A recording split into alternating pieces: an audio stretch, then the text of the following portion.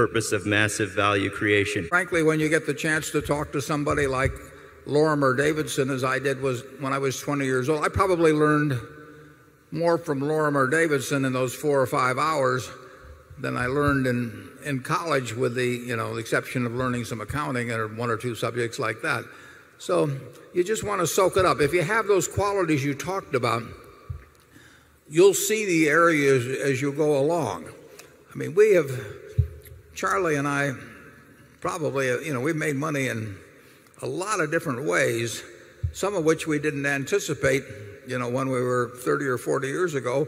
Um, but we did have the ability to recognize some. We didn't have the ability to recognize others. But we did know when we knew what we were doing and when we didn't. And we just kept looking. We had a curiosity about things. You would know at a time like the long term capital management crisis, for example, that there were going to be ways to make money. I mean, it just they were going to be out there and all you had to do was just read and think uh, 8 or 10 hours a day and you were going to cover a lot of possibilities probably a very high percentage of them good and and some of them sensational.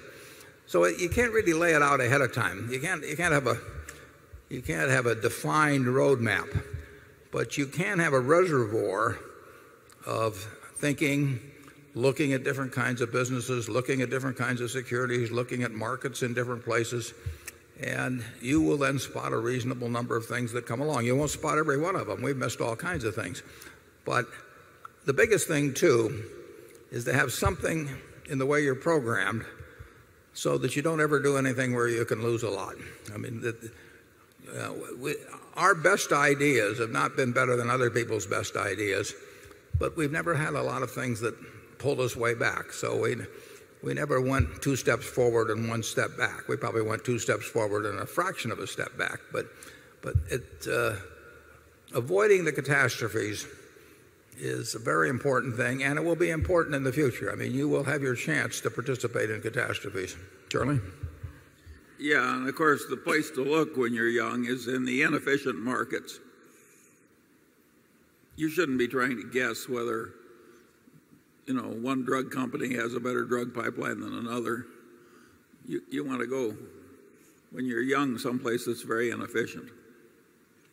And you shouldn't be trying to guess whether the stock market is going to go up or whether long term bonds are going to change in yield. I mean, you you don't have anything to going in that kind of a game. But you can have a lot going in in in games that very few people are, are playing and maybe where they're even got their heads screwed on wrong in terms of how they're thinking about the subject. The RTC was a great example of a chance to to make a lot of money.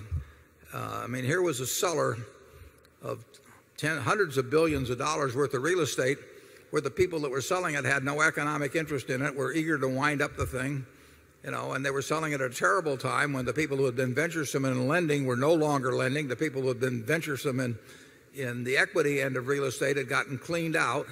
So you had a great background of environment and then you had you had an imbalance of intensity uh, in terms of analyzing situations between the seller, which was the government, with a bunch of people who had no economic interest in it and were probably eager to wind up the job, and buyers on the other side who were of the generally cautious type because the more venturesome type had taken themselves out of action. So and there were huge amounts of property. So you get these opportunities and you'll get more. I mean, there won't be any scarcity of opportunities in your life, although there will be days when you feel that way.